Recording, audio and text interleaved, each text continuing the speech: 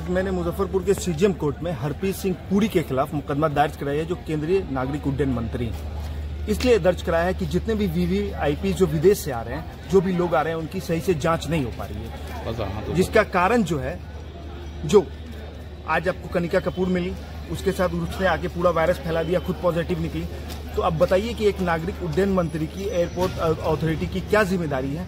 कि ऐसे विदेश से वीवीआईपी आते रहे और वो उनकी कोई सुरक्षा न करे और देश में कोरोना फैलता रहे। इसी को लेकर मैंने आज उन पर मुकदमा दर्ज कराया है जो धारा 304 ए 420 120 बी 406 और 506 चौंतीस आईपीसी की धारा है जिसके तहत कराया है जिसको माननीय न्यायालय ने स्वीकार किया है और इसकी सुनवाई की तारीख ये आज व्यवहार न्यायालय में हरदीप सिंह पुरी पर मुकदमा लाया गया है इसमें धारा तीन सौ चार ए है चार सौ बीस एक सौ बीस बी पाँच सौ छः चार सौ छः आई पी सी चौंतीस के तहत दर्ज किया गया है। और ये अगली सुनवाई इकतीस तीन बीस को रखी